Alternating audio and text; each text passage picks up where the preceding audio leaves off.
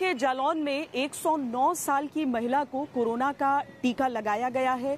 वो कोरोना का टीका लगवाने वाली सबसे अधिक उम्र की महिला है। लेकिन खबर नहीं है। खबर क्या है, वो हम आपको समझाते हैं। जब उन्हें टीकाकरण के बाद लाया गया तो अति उत्साह कहिए या क्रेडिट लूटने की होड़ सोशल डिस्टेंसिंग के नियम टूट गए। स्थानीय बीजेपी विधायक, ज़िले के आला अधिकारी स्वास्थ्य कर्मियों ने राम दुल्हैया का स्वागत।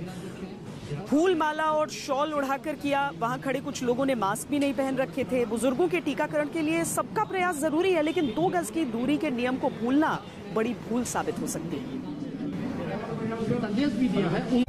खबरदार, में आज के लिए इतना ही। देश और दुनिया की बाकी खबरों के लिए आप देखते रहिए आज। नमस्कार, मैं हूँ अंजना ओम कश्यप हमें उम्मीद है ये वीडियो आपको पसंद आया होगा। लेटेस्ट खबरों के लिए यूँ ही देखते रहिए आज तक, और इस वीडियो के पसंद आने पर लाइक, शेयर एंड सब्सक्राइब करना ना भूलें।